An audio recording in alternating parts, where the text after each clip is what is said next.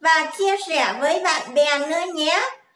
Đừng quên nhấn vào quả chuông ở phía bên phải để nhận được thông